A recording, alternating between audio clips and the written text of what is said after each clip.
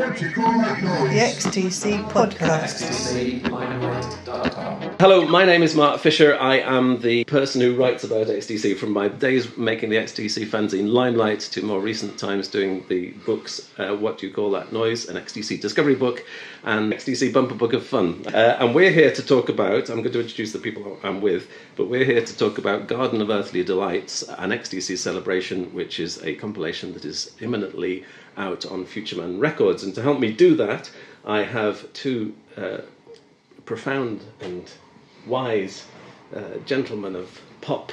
Uh, David White and and and Mark Reed, and maybe uh, well, I'll start with you, David. You you could maybe say just a little bit about two things. Actually, I'm interested. One, that you have been you have done your own covers yourself, and you could say something about those. But also then also your, your contribution to um, what do you call that noise is relevant in this case. Um, who are you? Sure. Yeah. I, well, I, I was an XTC fan since I heard Runaways in 1982, and uh, after that, uh, my friend Hugh and I um, we uh, formed a, a, band to play at the uh, Manchester XTC convention. We were called Balloon, and uh, we did Seagull Screaming Kiss Her Kiss Her and uh, um, Pulsing Pulsing, among others. Uh, all great fun, and uh, I wrote about the experience in your book, Mark, um, uh, just a year ago. Um, and uh, I was uh, very interested to look into uh, what bands around the world are doing um, in doing their covers on stage of XTC songs. It's all part of maintaining the legacy. Great, and um, uh, Mark, you're an XTC fan. You're currently wearing, for, those who are not don't have multicoloured uh, uh, podcast uh, visuals, uh, currently wearing a Dukes of Stratosphear uh, t- t-shirt. You're you're a long-term XTC fan. Yeah, I, I, didn't know this T-shirt was available until I saw on your Facebook page um, someone saying they got one for Christmas, and so I went on and there it was, nice bright Prince purple, so I got one. Mm. But yeah, the, um, the first XTC um, record I heard was back in the early days when Small Wonder would advertise on the back of the NME, and literally all the punk new wave singles were listed there. There may be a dozen a week released of that. And so myself and two friends would kind of split them up between us, and we'd all sort of, between us, buy most of them. And one of my friends obviously got the XTC one, I didn't, uh, but that was my first introduction, and then it kind of from there onwards. So I, I didn't actually get the first albums at the time, uh, much to my regret, because they were sort of ubiquitous. They were kind of mm-hmm. always there. You'd always, in those days, there was limited runs, so you'd kind of go for the stuff that you didn't think was going to be there next week. Whereas like Go 2 and that sort of thing was always sat in the racks because they major label stuff. So you'd go for the smaller label stuff, but uh, I caught up in time. Very good. And let's just talk in general before we we, we, we talk in specific about um, Garden of Earthly Delights, because this is now, but the Garden of Earthly Delights is a compilation of, if you get the digital download as well as the two double CD set, you actually get up to, I think it's 49 songs. So uh, this, this is um, an awful lot of XTC covers here. What do you think in general, forget about XTC, but what do you think in general about um, covers? But Mark, you were just saying that, uh, has there ever been a good covers album? Yeah, that, that's, uh, you know, friend Gordon Legg, uh, today and asked him because I was racking my brain. I was thinking there must be. I was thinking, sure, Bowie did one, or there must be something. But I always remembered um, Kate Bush. Well, sorry, there was a Elton John covers album um, about twenty odd years ago, and Kate Bush did Rocketman. Mm-hmm. And at the time, someone said it, it's the perfect excuse for keeping the seven-inch single because every other track on the album was crap. this was brilliant. yeah, yeah. And you didn't want the 12-inch version because it was just a three-minute song. So it was the, it was the textbook reason for having a, a seven-inch single as uh, you just want one track off the mm. album. And I think the covers it's. And that's reminded me, isn't, is it the Futureheads that did a version of Running Up That Yes, hill, yeah. Which is, I think, is really good. Yeah, yeah, yeah. But, but, that's a good example because for, for me, if you just do a note perfect impersonation, mm. what's the point? You know, I much prefer someone who takes the genesis of a, of a song and either adapts it to their own unique style, if they've got a vocal style or whatever, or takes it in a different musical direction. But I've never seen the point of covers albums that just kind of try and impersonate the. I, I think there's a, a, bit of a genre apart, which is like the tribute album as opposed to the covers album. Mm-hmm. and I, a, a, couple that come to mind are um, Sergeant Pepper Knew My Father back in the 80s, where The Fall did uh, A Day in the Life. Yeah. Um, and I'm Your Fan, the uh, Leonard Cohen one. Um, All right. Which I think this this is pre-digital. Uh, we're sort of seminal in the idea of getting together uh, dif- disparate bands to uh, to uh, to do a, a, a covered uh, a cover piece of work that uh, is in effect a tribute more than just song, you know, songs we like, that sort of thing. It's it's it's it forms a, a more sort of solid whole, coherent. I'm just thinking like there's, there is the question of the whole album, but I I have a sort of love of covers in the sense that, that, at their best they can make you hear a song, even if if even if they're trying to, to do a fairly accurate. Uh, copy of the originals um, I just I, it, I like the way that it makes me hear the original song in a slightly different way you know just slightly Yeah. different ears and then of course the the the gold dust is that cover that suddenly re- completely reinvents. Yeah. Uh, Yeah, you know, Sinead O'Connor doing nothing b- compares to. Yeah. Oh wow, that, that, Yeah. But but if you do get somewhere the singer's even trying to match the vocal inflections of the singer, you're thinking I could just play the original. And um, I, I kind uh, but cheating. I, I played a couple of tracks earlier, and then one of them I went and I played the original, and I thought just to s- compare the two. And I accidentally didn't go back to the album afterwards, and I wasn't sure whether I was listening to the covers album or the original. so you know, it's, it's that type of um, you know. Or actually, there was the Echo and the Bunnymen recently covered themselves. They released an album that was of, of Echo and the Bunnymen songs uh, redone. Re- they Well, there's also Jeff Lynne just did that with Electro ELO. He did redid um, uh, the, the um, album Mr. Blue Sky was on, and um, because he well for his reason was he didn't think it was produced very well when he did it the first time. Yes. But of course, people actually prefer the Yeah, the original version, Yeah. uh, and the new version was too shiny and too polished, and you know, Yeah. not the same grit. I agree. 10538 Overture on that doesn't Yeah. quite make it.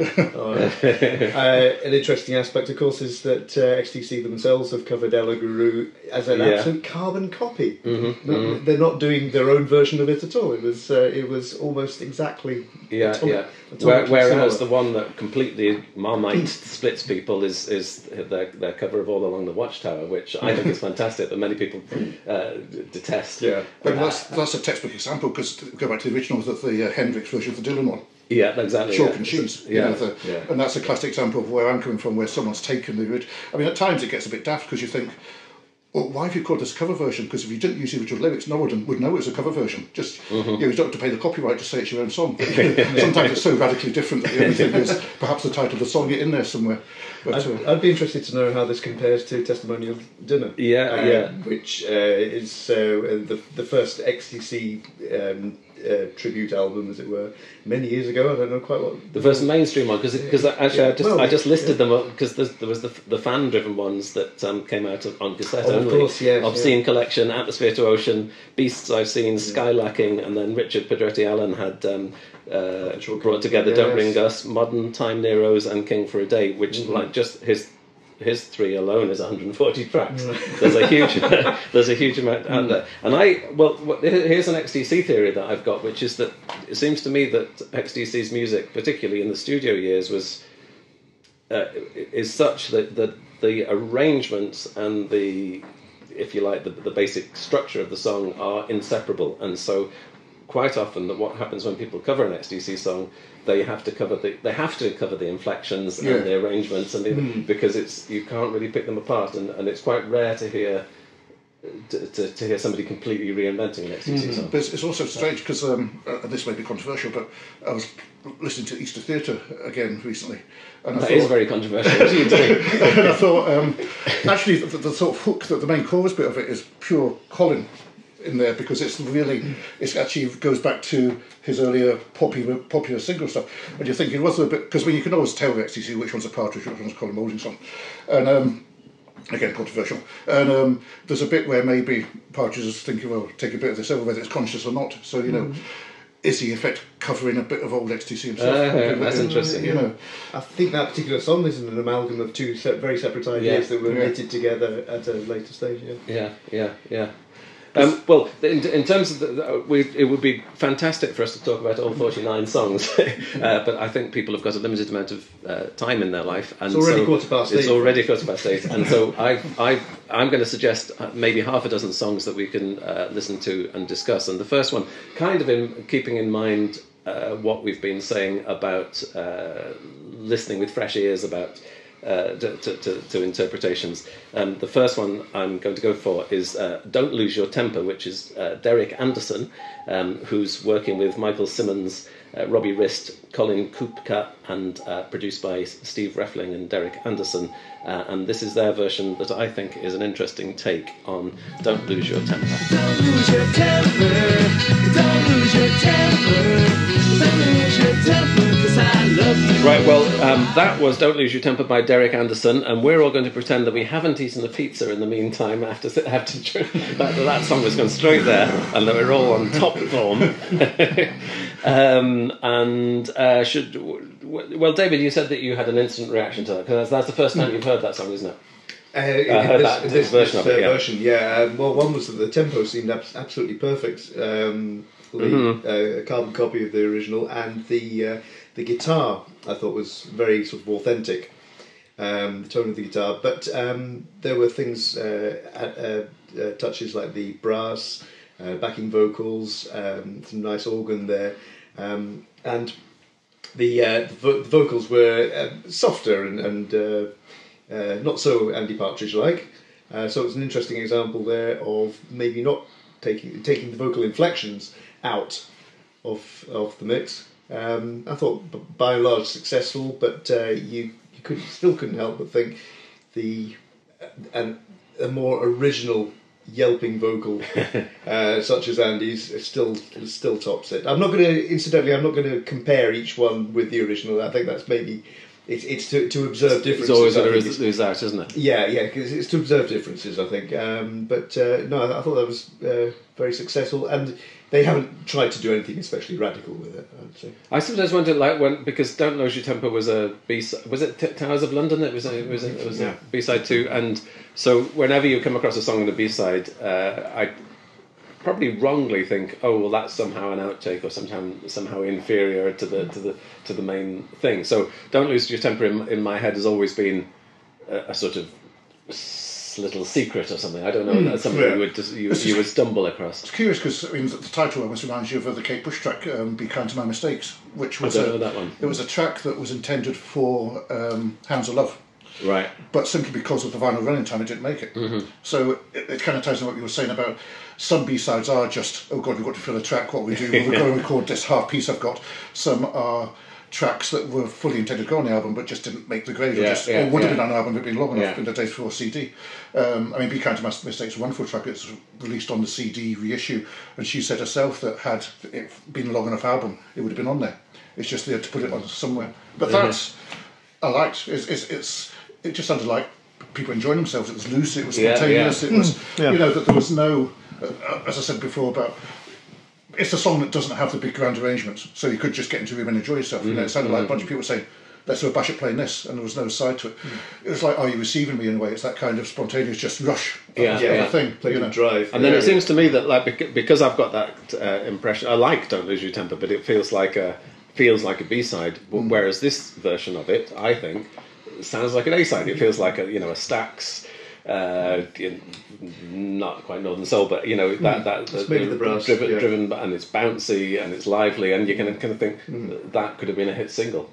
I wondered at one point whether the bass had been somewhat simplified compared to the original, but uh, The bass part, yeah. I don't. Um, I think I've got the sheet music somewhere. I'll check. Yes.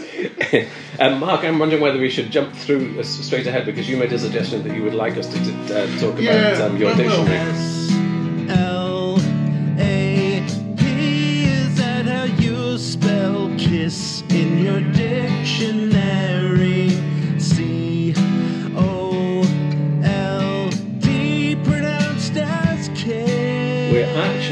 Being uh, more sophisticated than we realised because Derek Anderson, who did um, "Don't Lose Your Temper," uh, was actually on uh, bass and sleigh bells on that track. So it's all fa- all falling in very in, in very nicely. Um, Mark McCrite, your dictionary, um, his version of the Andy Partridge song, also with Jason Burke, uh, Scott Mundy.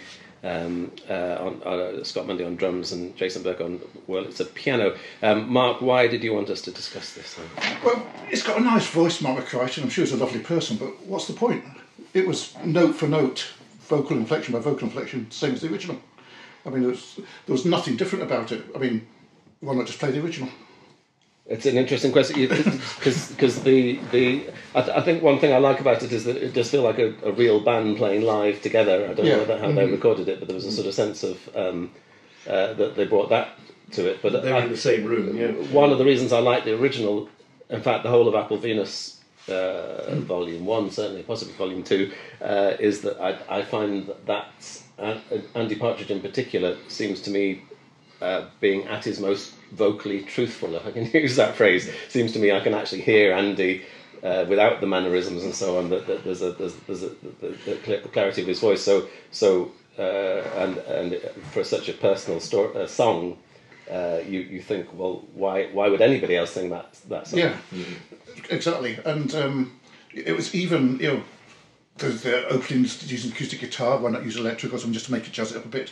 And um, even the way they introduced the dynamic, dynamics with the original builds, they did their own version. So instead of using a bit of strings or whatever in the original, they brought in the um, keyboard, the organ. Yeah. And I just think, again, it goes back to my point that, you know, f- to do a cover for something like that, then because it's such a personal song, you've really got to bend it out of shape, you know, to do something radically different and just to do a note for note version sounds like a bit of an impersonation. I mean, it's perfectly pleasant, you know, there's absolutely nothing wrong with it. I wouldn't rush to switch it off. It's just, I didn't see there any great things that you learnt about the original from hearing the cover, which perhaps is one of the woes of it.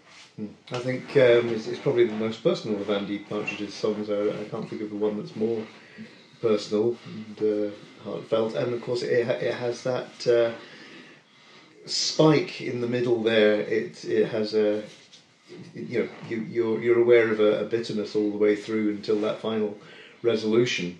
Um, but with somebody else singing it, it it means so much less. Um, It's like somebody else reading your diary. It's sort of- Um, so uh, yeah, there's a there's a, re- a remove, there's a detachment there that does make you think. Yeah, I, I, th- I thought it was it was beautifully executed. I, I liked the electric piano, the sound of the drums as well. Really reminded me of uh, uh, Oranges and Lemons era um, snare drum. But um, overall, I, yeah, you, you can't help but with all these, uh, and it's, it's it's filled with very clever, intricate puns that that really mean something um, to the singer. Uh, more, probably more than the audience, possibly. Um, you can't help but think, you know, maybe maybe it's um, it's an exercise and an, inter- an interesting one, um, but uh, doesn't uh, uh, have the the kind of uh, poignancy uh-huh, of, of, of the, of the original. but it is interesting that it's a digital one, it's not the actual CDs themselves. So Poss- possibly for that reason. Yeah, you know. yeah, yeah. I mean, again, it, it was perfectly pleasant. It's just a kind of, for the reasons you explained, it just seems. If you're going to do something like that, for I think you should really make an effort to bend out of shape, like I say. But Uh, well, let's go to one that's, uh, I wouldn't say bent out of shape is quite the right phrase, but um, it sounds uh, different to, to the one we're used to, and that's Life Begins at the Hop, uh, performed by the Kickstand Band, uh, which is Alison Young on vocals and bass, and Gordon Smith on uh, vocals and guitars.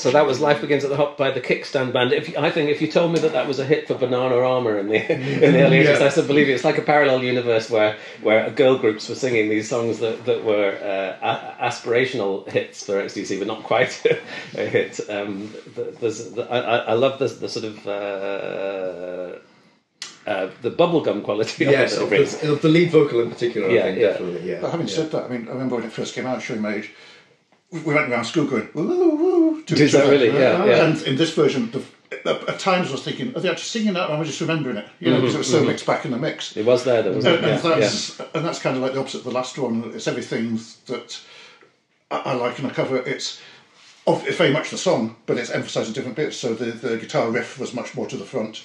The Mm. woo woos was a mixed way back, and um, it was sufficiently different. It was the same song, but it's like the 5.1 versions, you know, it allows you to hear different layers of it that you didn't hear before. So the next time you'd hear the XTC version of that, you might pay more attention to the guitar because it was so prominent in that version. Um, I thought the, the lead vocal emphasised the the poppiness of the tune. It's a fantastic pop tune. Um, but I think there were a couple of things that maybe rather laboured it. Uh, one is the slowed down the tempo, uh, which I thought was interesting to begin with, and then realised maybe halfway through that it was maybe beginning to lose a little bit of Yeah, momentum in the middle, and you, you, you wanted it to maybe speed up after all. Uh, and also the uh, the uh, heavily distorted echoed guitar. Again, an interesting touch, but I think that uh, ultimately, I think that maybe dragged it a little. It, it, it worked against the the um, fizzy um, female vocal pop sound. It may be, but the, the plus side of that is that there was some fantastic transitions where you were going from lots of fuzzy guitar and then suddenly it goes really quiet again, and there was it sort of introduced a True, it dynamic to it. introduced the space, and, and XTC themselves were doing this uh, to a good extent in uh, 1981 or so when they were doing a lot of dub reggae in their uh, in their shows. Mm-hmm. Um, I'm trying, uh, trying to remember one uh, one track on uh, the- their um, album from uh, uh, their live album from that year has um, an extended dub reggae. Um, uh, yeah, I'm trying to remember what it is. Would it be Yeah. Battery Brides or something like that? Or was, I um, think yes, yeah, maybe. yeah, Yeah, yeah. But I, I liked the distorted guitar at the end, but I think it was because it wasn't forced. It kind of came out of it, so it was Yeah. an extension. It could have done been done really badly. It could have been like his bit, my bloody Valentine, stuck at the end. But it wasn't. It was quite, you know, it, it just came out and then faded back in. I mean, Yeah, going so it was, it was judiciously introduced. Yeah, exactly. It wasn't yeah, yeah, yeah, a I slap in the yeah, I face, yeah. agree with that, yeah, yeah. Um, David, did you say that you covered Seagull's Screaming Kiss Her Kiss Her We yourself? did, yes. Well, yes. let's let's hear Yeah. Casper, fa- fa- sorry, Casca Fandango and his tricky sick tears. I'm not going to say this tiny. I'm not, I've got this completely wrong. Casper fa- Fandango and Yeah. his tiny sick tears. singing, singing, singing, it's Singing, singing. Yeah, that's just this He's, song. he's having a laugh. It's raining on the beach. She's inches close but out of reach. The waves look painted on. Seagulls screaming. The sea is warship gray. It whispers food and slides away. Black coastline slumbers on. Seagulls screaming. So that's uh, Seagull Screaming Kiss Her Kiss Her by Casper Fandango. and um, something, something, something. tiny And sick tears. you can't do that. Um, I, it, it's co- purely coincidental that um, David himself has covered this, uh, but if you search for Boy 48 on SoundCloud, uh, you will find songs that don't sound entirely dissimilar to that. I mean, it's, it's, it's an odd coincidence, but I presume, David, that your, your version of Seagull Screaming didn't sound like that. Uh, no, it didn't. It was uh, done with uh, uh, uh, Hugh and Kieran um, as Balloon um, at an XTC convention, and uh, we uh, did it pretty pretty straight. We did we didn't have the Chamberlin or Mellotron or whatever the lead instrument was uh, in that, but um, uh, we we did it at a, at a regular six eight shuffle. And the very interesting thing about this is that it's uh, um, it's, it's been turned into a waltz and but it interlocks perfectly with the six eight shuffle. Um, it's just the emphasis is, is different, and so you expect the song to actually take twice as long, but it'll probably be around about the same length as the original. Um, Uh, three minutes 57, I can see that. We, Right, yeah, yeah. Which doesn't sound. Yeah. uh, it's not not over, not over long. The uh, what he's done, I think, is very interesting because uh, apart from musically, he understands the song. I think he also um, has looked at the lyrics and has taken the uh, seashore analogy and made it into this beautiful synth wash um, with the um, the brushed drums as well. Um, that really, I think, evokes this kind of seaside thing. Puts a whole level of romance on it, a sort of almost easy listening, um, uh, romantic sheen to it.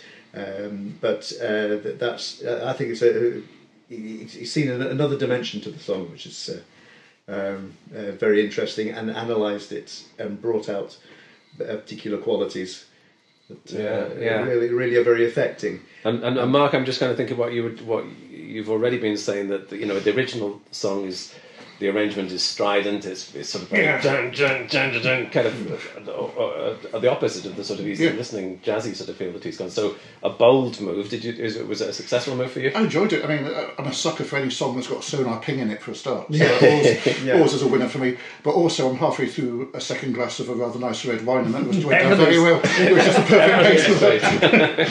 So, so thanks to uh, his little tears for that. yeah, yeah, and and actually, you know, we, we were talking about um, uh, your dictionary, which is a personal song. This is also a personal song. Yeah. So, but but but he manages to find it, uh, make it his own. I think. I, I would say so. And on that, and on that bombshell, Two thumbs up. two thumbs up there. Yeah, yeah. No, I, I think it's really, really lovely. And again, that's one of the ones. This is the thing about this album. Uh, there's a lot of songs that are on the digital only, in addition to the two CDs. But um, there's lots of good, good finds on the digital only. I uh, possibly spent too well. much time trying to do anagrams of the artist's name. Well, yes, yes, yes. Um, um, um, so actually, we'll, we can stick with a with, with a theme here because if we go to Runaways, that was another that was that was another song. Several, several, uh, yes, we, yes, we did, um, and uh, I, I'd always been impressed by this when um, uh, our friend Hugh um, put this on the stereo and said, "Do you, uh, guess who this is?" 'Cause I, I, I knew XTC from the, the hits, the, the Nigel and Generals and Majors and so on. Um, but um, this was the first track I'd ever heard from uh, English Settlement, and uh, he said uh, he played it to me, and I thought it has a slightly Pink Floyd sensibility to it, but it's it's clearly not them. Uh, and I really just couldn't put my finger on who it was, and I was quite staggered when I was uh, told that it was XTC. Um, and I thought, well, th- th- these these guys are really this is this is an interesting album. They're really developing. So um, let's hear what it sounds like when I think like Midnight get their hands on Runaways.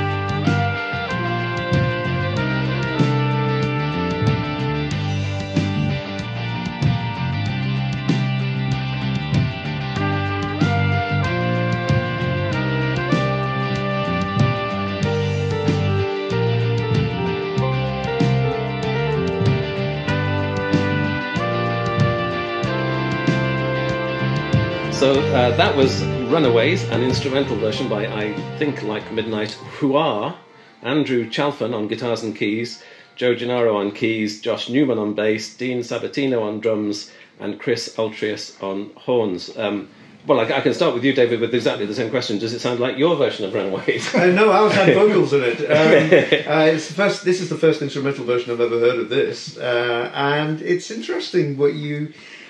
Uh, you you're obviously not aware of the sort of rather affecting story in the uh, in the in the original lyrics. Um, I think it's not bereft because of it, particularly um, because what I think they've done is that uh, again, rather similar to the last version that we heard, um, they've uh, they've dug into the interesting um, musical resonances. There's there's uh, various sort of dis- dissonances and chord intervals that uh, come out of Colin's song, and in fact, you could argue that maybe these bring these out better than than the original. Um, with uh, even though Runaways is is basically a, it's, it's a fairly fairly straightforward song in many ways. Um, there are some interesting um, musical ticks going from major to minor. There's some um, ninths in it that are interesting. The fifths go in interesting uh, directions, and I think they they brought those out certainly. Um, I felt maybe we were lacking a bit of heaviness in the drums that we're used to, of course, from the uh, from the original. Uh, uh, maybe not a bad thing. It, it, it meant that it was a much more um, a, a airborne song than than uh, the the original, which is weighed down by uh, Terry's quite heavy tom tom drumming. I kind of think there's a sort of tension be- between is it is this easy listening that's just going to become uh, elevator music and go into the background, and then there's something about the horns in particular that have a, a, a kind of jazzy feel that makes me think, oh no, there's actually something quite interesting going on here. that yeah. pulls in both directions. Which direction did it pull for you, Mark? Um, again, it went down very well with a glass of red wine. Um, but no, it's curious because I I don't think I've ever, ever heard this XTC version out with its place on the album. Because, and it's like you were talking about Pink Floyd earlier. And so, in some ways, I mean, not to diminish the song at all, I almost kind of saw it as a bridge between the two songs around it.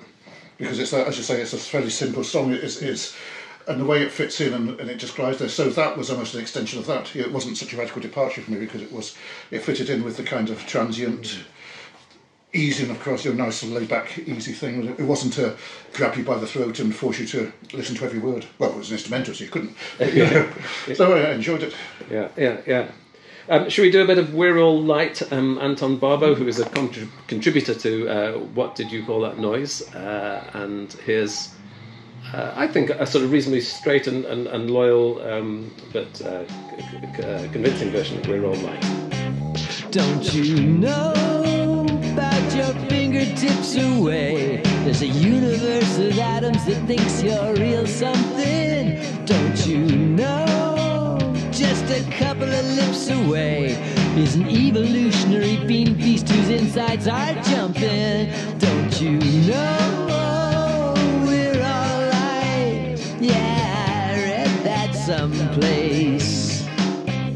Don't you know we're all right? Yeah, That's um, Anton Barbeau on vocals, bass, synths, and kettle, uh, with Don Hawkins, who's on guitars, drum box, harmony, vocal. Um, Anton, uh, his contribution to what you call that noise is he talks about um, Senses working overtime, which he describes as a life-changing song, and, and effectively the song that turned him into a songwriter. This is the thing that, that I want to do. So obviously he's a, huge uh, fan.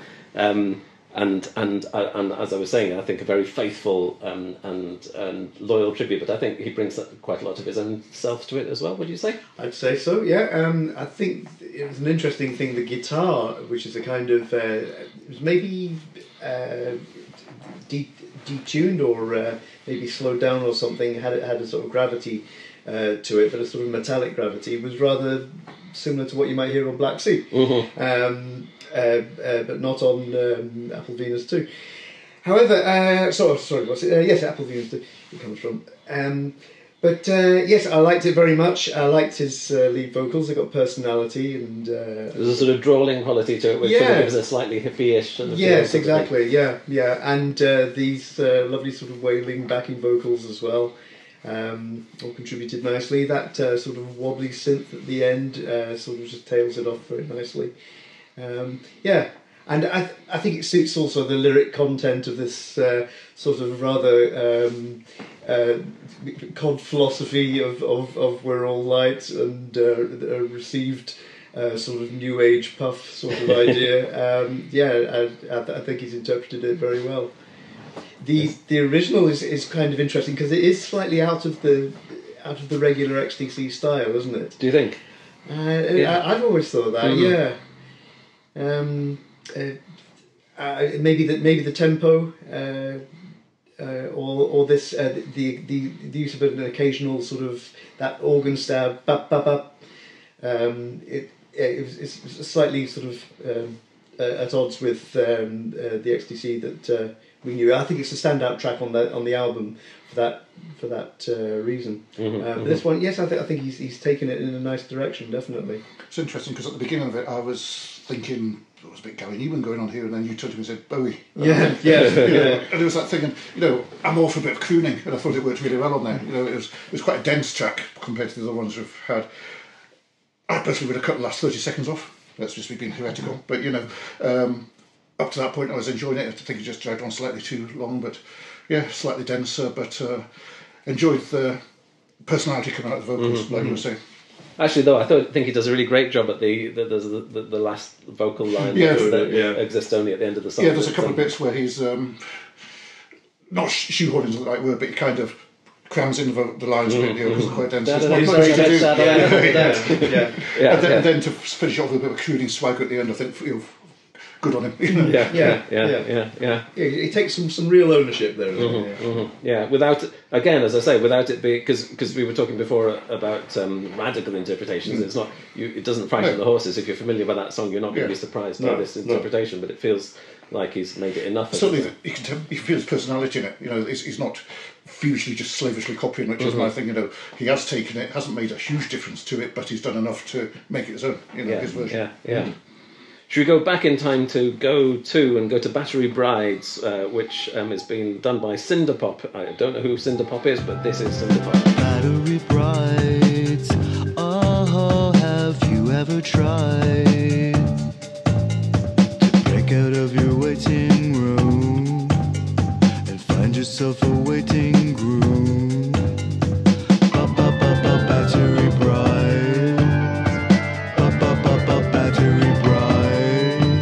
Bright. So that's Cinder Pop and Battery Brides channeling Barry Andrews, channeling the, the sort of relentlessness of, of classic um, Terry Chambers drumming uh, to get that sort of uh, you know drony k- kind of compulsive uh, uh, effect, um, and I think a little bit making it uh, his or her own. Yes, definitely. Uh, the um, I, I liked the what was going on also in the in the sort of lush, uh, like you say, o- over this uh, kind of raga like uh, background. There was lots of lovely, uh, very light touches. Uh, that made it very positive and uh, major key and uh, all the rest of it. I liked also the uh, the frippy guitar, uh, Right. which was a nice uh, introduction. The vocals, the lead vocals was an interesting one though, wasn't it? Because they were, um, I assumed, rather deliberately understated, um, a little bit sort of detached. Like, I know, I'm just trying to think uh, somebody who, um, uh, who, who, you know, delivers that kind of well, I don't really care. Oh, this Pet Shop Boys, quite such one. Yes, maybe. Uh, and I was thinking maybe Baxter Dury, for instance. Uh, Right. um, uh, just not. I, I'll come just about halfway. I'm not going to come any any further. And I think that actually is a very much part of the sort of new wave sensibility of. Uh, 79 80 when the song uh, was uh, uh, first uh, cut. Which is 78. 78, Yeah, yeah, yeah. yeah. Um, and uh, a lovely, yeah, nice reminder of of uh, what a great what a great tune it is, um, and, it, it has these lovely um, angles that uh, that you can just uh, revel in, but at the same time it goes back to its nice comfort zone. Although, I'm end. just kind of thinking there's a fine line between um, discordancy and is that just out of tune? There's, some- Yeah, there's- yes, there's- true. There's an interesting Yeah. bit and a couple of bits which sound deliberate because they haven't Mm. been fixed, but but it, it, it unsettles you when, when Mm. not everything's jarring together. A bit, or can you jar together? Not everything's fitting together Mm. Yeah. Mm. and maybe jarring. But Um, the fact that they do this uh, two or three times and then Yeah, yeah, yeah, yeah, yeah, yeah, yeah. usually means they got it right. yeah, yeah. Any uh, anything to add there, to Mark? Yeah, I mean, I, mean, I, I, I must have about cheated. Um, I thought I recognised the name of the band, so I googled them to see if it was the band I was thinking of. It wasn't at all. and, it, and it turns out I think there's about five of them. And uh, All right. up to up to that point, I was like yourself. I was thinking it was remind me of someone like Thomas Leer, Eric Random, you know, around the time. You know, the sort of guys that would turn up with a homemade synth that they made out of uh, electronic magazine plans, kind of like Barry Andrews maybe, you know, and was play on top of a tea chest and do a set with a old drum machine. So I thought it was just a one guy, and also that ties in with the vocals because you know Thomas Leer and were too busy trying to get the machines to work to actually sing. But um, until of course the bits you were talking about, the flourishes came in, and then it became a bit slicker so much. And I kind of. Um, I, I didn't dislike it for that reason, but I was quite liking the throwback to the early mute electro days that it was kind of bringing up uh, from that respect, which you know, being a Barry Andrews influence track would be. Yeah, yeah, yeah. Um, we've been we've been lurking. Is that the right word? Uh, quite a lot on the digital only section of the thing. So let's let's finish off uh, back mainstream uh, with My Bird performs performed by Myrtle Park's Fishing Club, uh, which I take to be Kate Stevenson in most respects, uh, who does all other instruments, vocals, arrangement, and production, uh, in addition to John Steele, who plays guitars.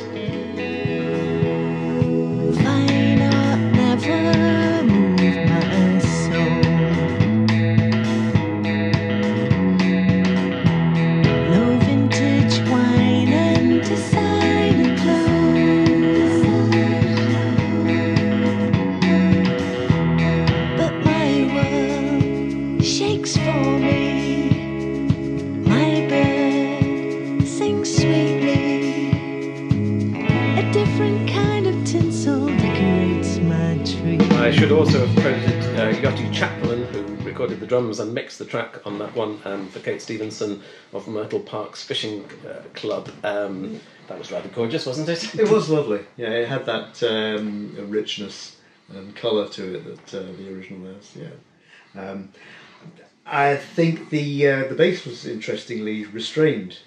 You were just only sort of periodically aware of it. Uh, just uh, came in and out. Um, the, the song has a lot of space to it anyway, um, and she's she's kept that.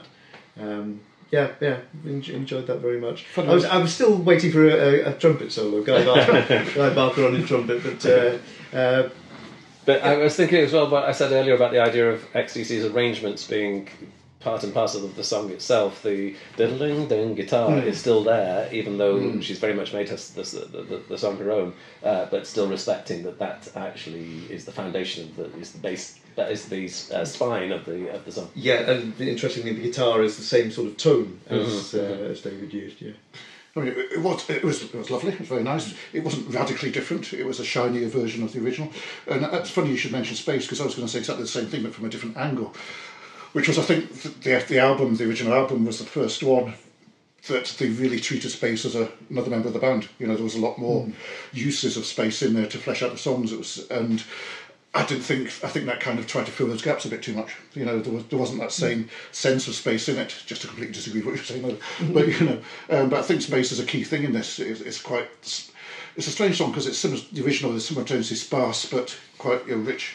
So it's a tricky thing to pull off, and they didn't quite manage it. I don't think, but they made a very perfectly pleasant song uh, as a result. And what do you think? Because what, I guess it's not coincidental that I've chosen this song and "Life Begins at the Hop, where you've got a uh, a- a female singer, and, and obviously with XTC we're used to male voices necessarily, and uh, the, you, you bring in a in a female voice, and and it uh, emphasizes the melody a lot of the time, uh, and, and and and brings a sort of just another quality that's very uh, inevitably very different to, to, to the ones that we're used to. I think it's it pays testament to the original songs that not just male female, but also to go back to Mr. Barbeau earlier, you could have a crooner, you know, in, and the songs support these different styles, and, and that's partially why I've got to be in my bonnet about them being too literal to the source Yeah, material, yeah. because as we've seen tonight. You know, the songs do support very different styles of singing or instrumentation. and It just seems a shame not to do that more. So, for the people that have done it, brilliant. you know. Yeah, yeah. the two female voices we've had have tended to be uh, they're, they're on the sweet side. Um, if you got maybe Patti Smith to do it, it might be yeah, different. yeah. I think my criteria is always what would Dusty Springfield have made of it? As in all life, in all questions of life. Yeah, yeah. yeah. Uh, Mark, did you get a chance to listen to the whole album today? Most of it, yeah. Yeah. And Did, did, so do- did you have an overall impression of it? I was doing other stuff, so I, I kind of um, there was some bits where I think at one point I went back to compare with the original track, and I got confused at some point whether I was listening to the album, covers album with the original. But that was just a, a couple of tracks where they were a bit too literal, and I quickly got out. Listening to it as we're doing tonight, where we're actually sort of talking about it and paying more attention, I'm definitely getting a much richer feel for it. You know, I'm Yeah, appreciating yeah. the songs more. Yeah, it's a fantastic mix of songs as well. If you look at, you know, it's from all periods of XTC, and it's uh, yeah, the, the, all of them are among their best. Yes, it's not an obvious. It's nicely not obvious. I mean, make there's actually a very good uh, version of Making Plans for Nigel, Yeah. which I thought about doing. I thought, oh, surely we can't do Making Plans for Nigel. Um, actually, if you look on my uh, YouTube channel, there are millions and millions of uh, YouTube uh, covers, including uh, I've got in fact a whole playlist which is just covers of, of Making Plans for Nigel. I've heard, uh, you know, more than anybody needs to in, in their life. But this is there's, there's a very good one there. But um, it doesn't. It, it's uh, you know the greatest hits are in there. Uh, you know, I can see on the on the list in front of us at the moment, dear Ma- Madam Barnum. Uh, uh, actually, there isn't. I don't know if there isn't a is working overtime. I don't think, if, if I, unless I'm unless I'm forgetting it. Uh, but uh, but you know, lots of interesting curiosities, uh, B sides, demos, in fact, as well. Um, Say it by by by Colin Moulding, for example. So lots of interesting choices, and I think. I, I, yeah, I know what you mean, Mark, about um, about some songs being um, loyal without without bringing necessarily anything to it. But it feels like just playing it through, which I've only done and had the chance to do so far a, a couple of times.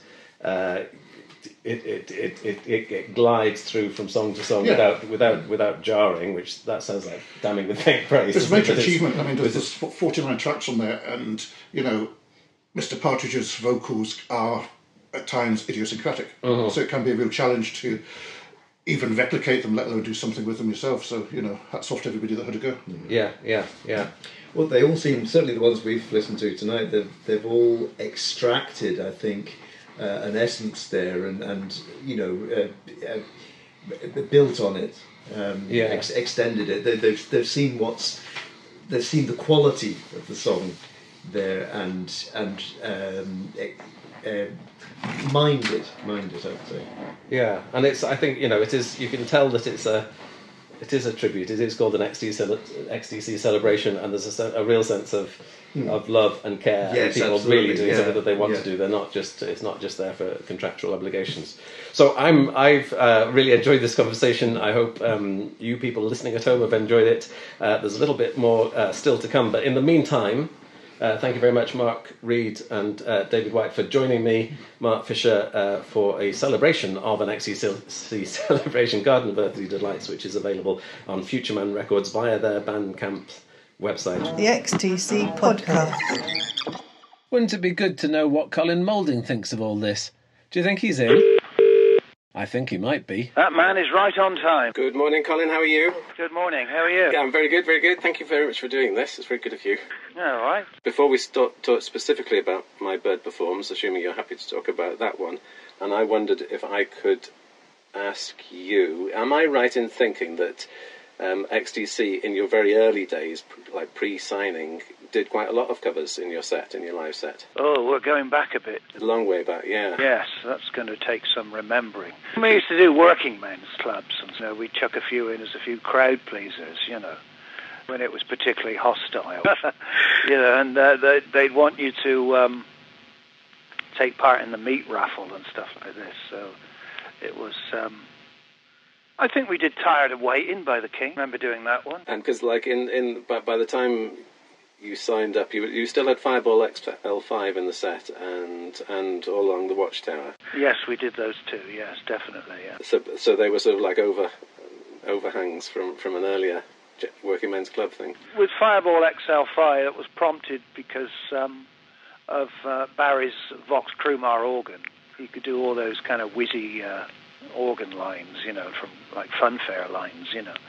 So um, we kept that in because that was a bit of a crowd pleaser. Yeah, I think I remember doing "Stay with Me," the old uh, Rod Stewart thing. Or have I got that wrong?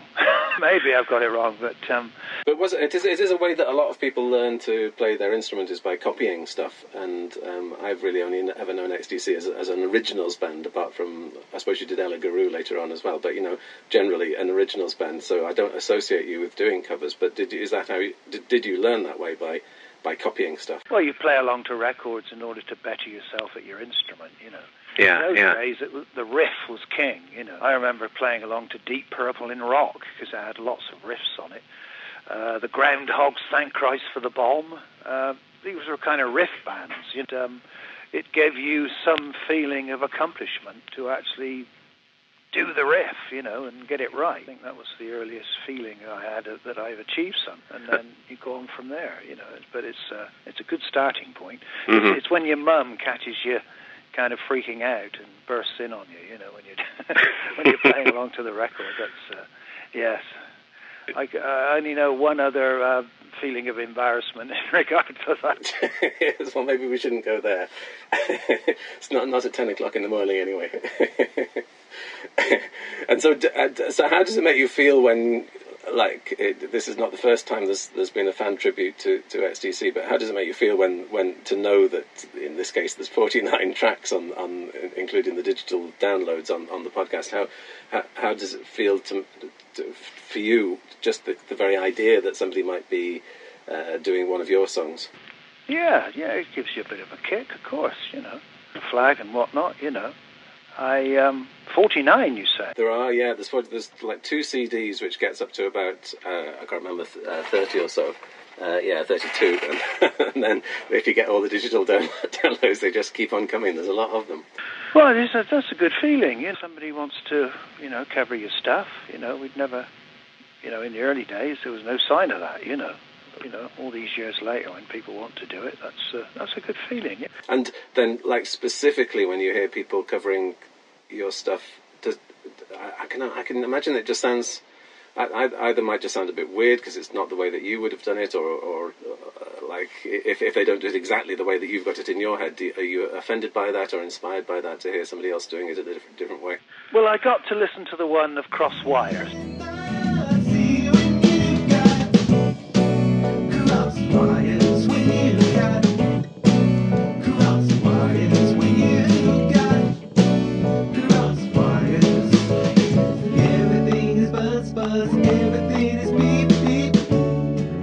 I think it's very brave of them to do to do it in an altogether new way. And Yeah. whether the uh, the lyric goes with uh, the music now, I, I would I don't know. I mean, I re- uh, initially wrote that song to irritate. You yes. And this is a sort of lounge, easy listening version, isn't it? Yeah. No sign of irritation in this uh, in this version. No, I mean it's peppered with the Devil's Harmony in our version. And if you've seen that um, thing that's got posted on the web about uh, it being put to Tom and Jerry, Oh yes, I d- yes. that was that was quite good. Isn't That was brilliant and perfectly timed, wasn't it? It was like brilliantly synchronized. it? really was. Yeah, I thought, Jesus Christ, this is spot on. Tom is irritating Jerry, and Jerry is irritating Tom. So uh, there's irritation all around. Yeah. So yeah, but uh, generally I approve of people doing different versions. You know. Yeah, and that's the the Crosswires by the pop-up book. It's it's about as, as as different as you can get, isn't it? And sort of in that same mould of of um, uh, the the making plans for Nigel that Nouvelle Vague did, where where it suddenly becomes this this different uh, sort of thing. Yeah, and the flying lizards doing money, that kind of thing. Yeah, it's it's it's all good because they make it their own. You know, I think the drumming on that, uh, um, uh, what was it, uh, on the crosswires thing was very good. And it, it's and it's also amusing as well because you kind of think that song is not meant to sound like that. No, no, that's right. They've had that foremost in their mind. so that's one that's one thumbs up from you. And then uh, My Bird Performs is is uh, far more loyal and faithful than that. But it's but I think she also makes it her own, doesn't she? Yeah, it's kind of nice that a woman is singing it. Uh, uh, have a female vocalist on the track is is is a kind of a different thing. There's there's that kind of double entendre with my bird performs, you know, like performs meaning sexually. There's always that nod, wink, wink. Oh yeah, my bird performs all right, you know, all this kind of thing. But uh, it's nice to have that kind of. Uh, that dissipates somewhat when there's a lady singing it. Depends which way you're flying, I suppose. well, that's true I'm enough. getting into hot water here. aren't I? I think with My Bird is that um, obviously it's missing brass. I initially wrote it, I think, because um, there used to be a um, a TV program on the television on the television uh, as a forerunner to Antiques Roadshow called Going for a Song, and uh, on the credits they had this caged mechanical bird in a cage, a gilded cage, and the, it, it spun round and sang a little tune. I think ladies and gentlemen from the 1700s, Georgian gentlemen thought that they'd really made it if they owned this thing. It kind of uh, used to sing its tune, and it was like, yeah, you know, I've made it, you know, because I've got one of these, you know. We use brass on our kind of version, and that, that kind of had that. Uh, that kind of pertained to that a lot more, golden gilded kind of thing about it, and uh, but it's nice to hear a lady singing it. That's that's very nice, and the harmonies are terrific. Yeah, Harmonies are fantastic, aren't they? yeah, terrific. And uh, does um, does it make you think? Oh, it, does it make you want to rush back into the studio and think, oh, we could we could have done it like this, or, or is it just a question of this thing exists in a in an, in another universe? Well, there's one bit of the song where they actually skip a beat. I, she does do that, yeah. Yeah, they r- they rush in on the vocal, and it actually I think goes in for one bar, seven and eight, seven eight, I think. So um, I, I thought, blimey, maybe we should have included that, you know, something like that. I hadn't thought, but yeah, I'm glad you noticed that because I, I noticed it and thought, did, did that just happen? maybe it was an accident and uh, the vocal line jumped in or whatever. But um, I thought, Jesus, that, that, if that's an accident, that's a happy one. Maybe I could have explored that. but yeah, yeah, I enjoyed it. The XTC podcast. Thank you very much, Colin Moulding. Uh, it was great to hear from him. Uh, also, thank you to Keith Klingensmith of Futureman Records, who provided the music and did the associated interview, uh, which you can read on my blog, which is at xtc bumper book of fun for boys and girls.blogspot.com. Thanks, of course, to all the brilliant musicians who did such a formidable job on Garden of Earthly Delights, and you can find that uh, record at futuremanrecords.bandcamp.com. Thank you too to Mark Reed and David White for the quality chat. I really enjoyed it. You can hear David's music at soundcloud.com forward slash boy hyphen 48, boy 48. And uh, for all your XTC related reading needs, check out my website at xtclimelight.com where you can order the XTC bumper book of fun for boys and girls and what do you call that noise, an XTC discovery book. See you next time. The XTC Podcast. xtclimelight.com.